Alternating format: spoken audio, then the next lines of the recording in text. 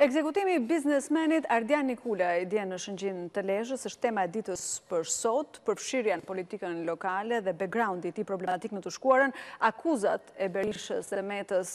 ndaj qeverisë se qëndron pas eliminimit të të këtij biznesmeni do të jenë tema e ditës që do të diskutojmë me kolegun Mero Baze. Mero, mirëmbrëma. Mbrëma. Atëherë, e nisim me një koment për sa i përket përfshirjes së politikës në këtë çështje.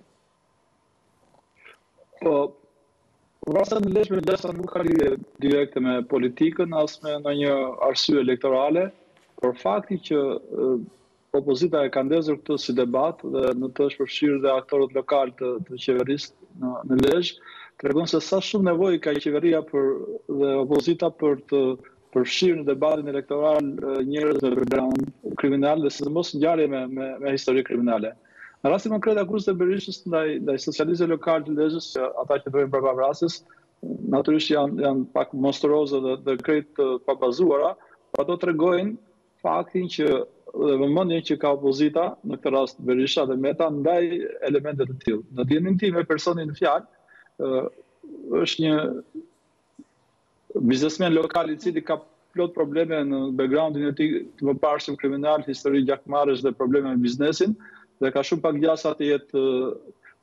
të ketë karakter politik për shkak se nuk është një aktor aq i rëndësishëm politik sa e bëjnë zgjedhjet e fundit ai ka marrë 300 vota personalisht nuk ka kandiduar me parti të vogël ka qenë dikur më i afërt me socialistët por pas procesit të dekriminalizimit është mbajtur një distancë ndaj ndaj tij ndaj shumë elementëve të tjerë por fakti që Vrasja e tij ka nxitur debat politik, do të thotë që vëmendja e politikës ndaj këtyre elementëve është ende shumë e madhe dhe realisht ata jetojnë me historitë e tyre, përpiqen t'i kapitalizojnë ato dhe të të krijojnë debat politik dhe natyrisht dhe kapital politik. Mero, përse Berisha mendon se ka interes ta akuzojë qeverinë për këtë vrasje? Por interesi i parë i tij është fakti që atë ndikim të vogël elektoral që ai mendon që që ky person e ka pasur në qarkun e Lezhës duke akuzuar qeverinë, duke akuzuar se qeveria qëndron pas kësaj vrasje, shpresojnë që që ky fluks votash të kalojë sipas logjikës nekrofile në këtë rast në në krahun e tyre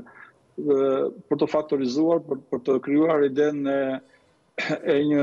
fushatë elektorale që po nis me vrasje, që po po po krijon tension, pra e kanë e para për për qëllime të vogla elektorale, por ajo që është më, më tepër në sfond duket që është fakti që duan të të krijojnë një proces të inkriminimit të zgjedhjeve, të krijojnë idenë që zgjedhjet po nisin me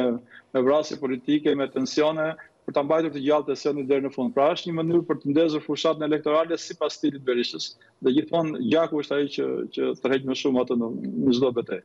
Ndërkohë Shtetet e Bashkuara të Amerikës kanë bërë thirrje palëve në Shqipëri të kandidojnë njerëz me integritet dhe të papërfshirë pra në të shkuar kriminale. Sa e shikon të rrezikuar këtë fushatë elektorale nga përfshirja e elementëve kriminalë? Po një nga temat e bisedimeve të vizitës së fundit të dërguarit special të SHBA-së Gabriel Escobar në Shqipëri ka qenë pikërisht me të gjithë faktorët politikë, pikërisht mos kandidimi i njerëzve me background kriminal të zgjedhjeve, një lloj sanitarizimi i politikës nga nga këta elementë. Por po kaq e rëndësishme mendoj se sa mos kandidimi i personave me background kriminal është mos kandidimi i personave të cilët kanë mbështetje nga elementët kriminalë. Kjo është dhe pak më e sofistikuar. Natyrisht që tani nuk të lejon ligji që të vendosësh një njeri që ka probleme direkte me ligjin, Por të gjithë jemi dëshmitarë që vendosen persona të cilët formalisht nuk kanë probleme me ligjin, por pas tyre qëndrojnë njerëz ose grupe kriminale që kanë probleme me ligjin. Të tillë për shembull Komisioni Qendror i Zgjedhjeve ka dërguar rreth 30 veta për verifikim në në prokurorinë e shtetit për të verifikuar, por dukshëm është rasti i kandidatit të Shijakut, i cili është dëbuar nga Zvicra për është ekstraduar pasi është kapur për lëndë narkotike dhe po hetohet nëse prokuroria ka nisur çështje penale ndaj tij. Por kemi raste të tjera si Laçi apo Rroskoveci me të cilët shumë opozitarë mburen që ata janë tani kandidatë të fortë se kanë nga mbrapa elementë të fortë kriminalë. Raste të tilla ka natyrisht edhe edhe nga Partia Socialiste në, në, në disa zona të cilët mbrapa, domethënë personat formalisht janë në rregull, por mbrapa tyre qëndrojnë elementë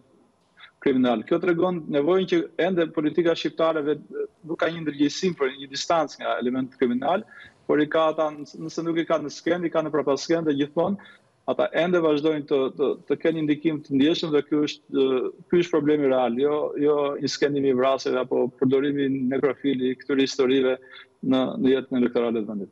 Mero, të falenderoj. Takimi i radhës është nesër në orën 20. Faleminderit. Faleminderit.